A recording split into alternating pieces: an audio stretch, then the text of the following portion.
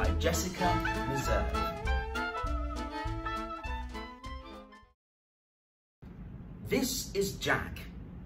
He's very quiet. This is Jack's family. They are very noisy. In fact, they are so noisy that no one seems to hear Jack. Jack said to Ma, I'm going to the mountain today. Ma said, one or two pancakes. Jack said, one please. Ma gave him two. Jack said to Granny and Gramps, I'm gonna walk to the top of the mountain today. Granny said, I'm gonna knit you a nice new sweater. What color, red or blue? Jack said, blue please. Granny said, red is a very good choice. Gramps said, I'm gonna write a song about red. Jack said to Pa, I'm going to the very top of the mountain today. Pa said, are you going fishing in the creek? Jack said, no, I'm going to the mountain. Pa said, catch some big ones. Jack said to Junebug and Jim Bob, do you want to come to the top of the mountain? Junebug said to Jim Bob, Jack wants to play hide and seek. Jack said, no, I, I want to go to the mountain. Jim Bob said, count 50, Jack will hide. I wonder if anybody heard me say I'm going to the mountain, thought Jack. I hope someone did.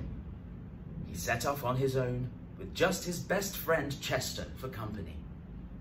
Past the barn, across the pastures, and over the whooshing, burbling waterfall, up, up, up the mountain side, until he reached the top of the mountain.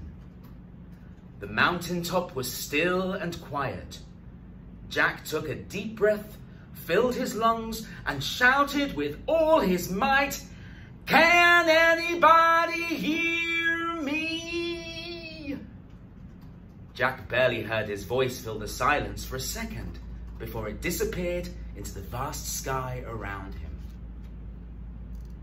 Jack sighed. I wish someone could hear me. Jack cuddled Chester and whispered, You can hear me, can't you? Yes, said Chester, looking straight at him. I've always heard you. Jack blinked with surprise, then smiled and said, Do you want to play? Chester smiled back and said, Yes.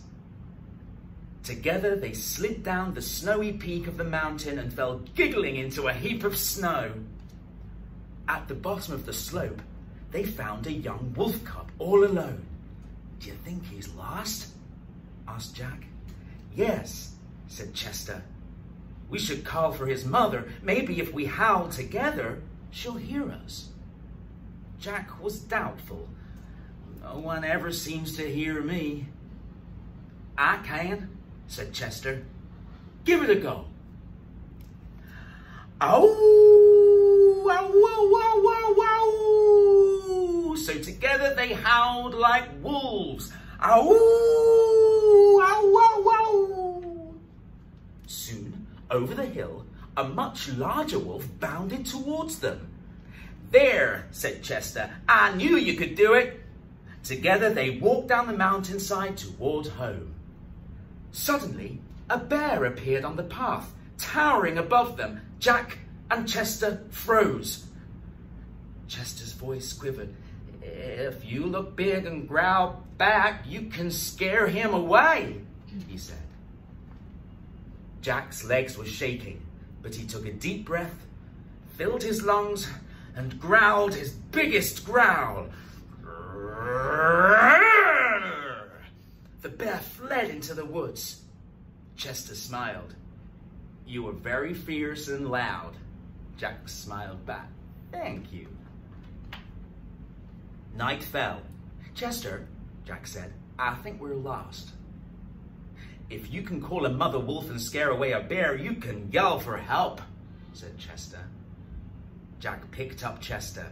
He took a deep breath, filled his lungs, and shouted out, Can anybody hear me? Only an owl hooted in response. I think I'm still not noisy enough for my family to hear me, said Jack. But then Jack saw lanterns bobbing in the distance. He heard the voices of Ma and Pa. Jack, where are you? Jack, can you hear us? Jack called over with all his might. I'm over here! I'm over here! The voices of his family drew closer. Jack smiled. They can hear me. Chester, just like you. Pa cried, We were so worried. No one knew where you were. Chester knew where I was, Jack said. Chester? Pa laughed. Come on, it's time for supper, said Ma. Chester winked at Jack. Back at the ranch, Jack's family all talked at once, asking where he'd been. Jack took a deep breath, filled his lungs, and with his biggest voice, he shouted, Quiet, please!